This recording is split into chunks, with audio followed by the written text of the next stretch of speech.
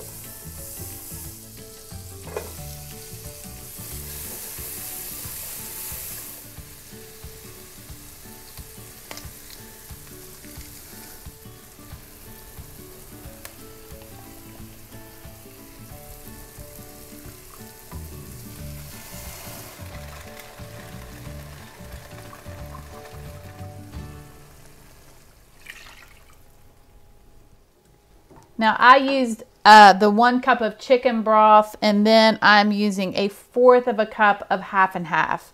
But I do want to tell you you can use one and a fourth cups of just chicken broth. You can use one and a fourth cups of milk. I like to use the chicken broth uh, because it's less calories than just say using all half and half or, or milk.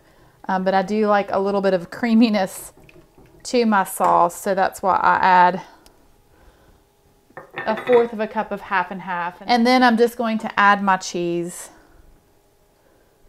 sprinkling it in gradually. Okay, and then next I'm going to slice my potatoes and I am using a mandolin. It just is a lot easier.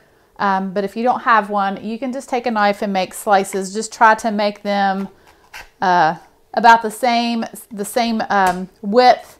This is about a fourth of an inch, I think. And I am leaving the skins on. Well, one, I'm lazy and I don't want to peel my potatoes, but I like the skins and they do add the fiber and to your potatoes. So I'm leaving the skins on.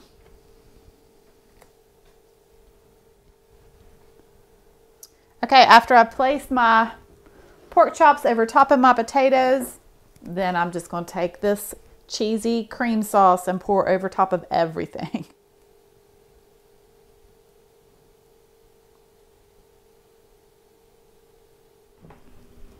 And you do kind of want to jiggle your pan just to make sure that that cheese sauce gets all the way down in those potatoes. Okay, that looks good.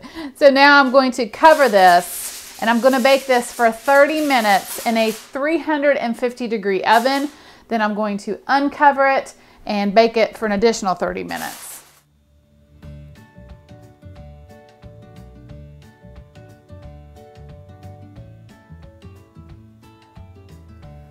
All right, guys, the pork chops And the cheesy potato casserole is done and it looks phenomenal.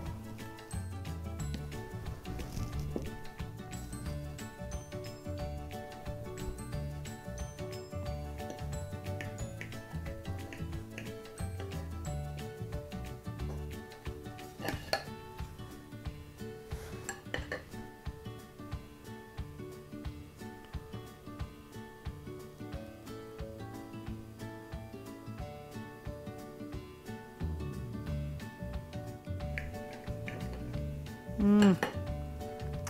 This pork is so tender. It is so juicy. It's not dried out at all. You guys have got to try this. Mm. And the potatoes are tender and cheesy.